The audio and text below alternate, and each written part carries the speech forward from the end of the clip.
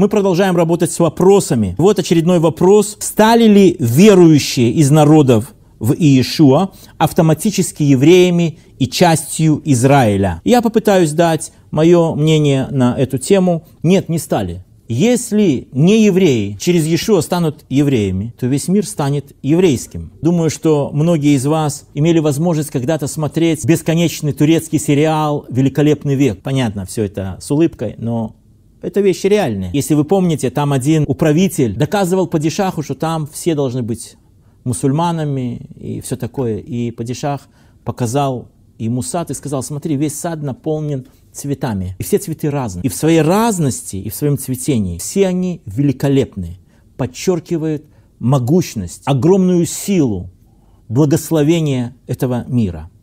Вы знаете, в несколько иной форме, но то же самое сказал апостол Павел. Полное видео смотрите по ссылке в описании.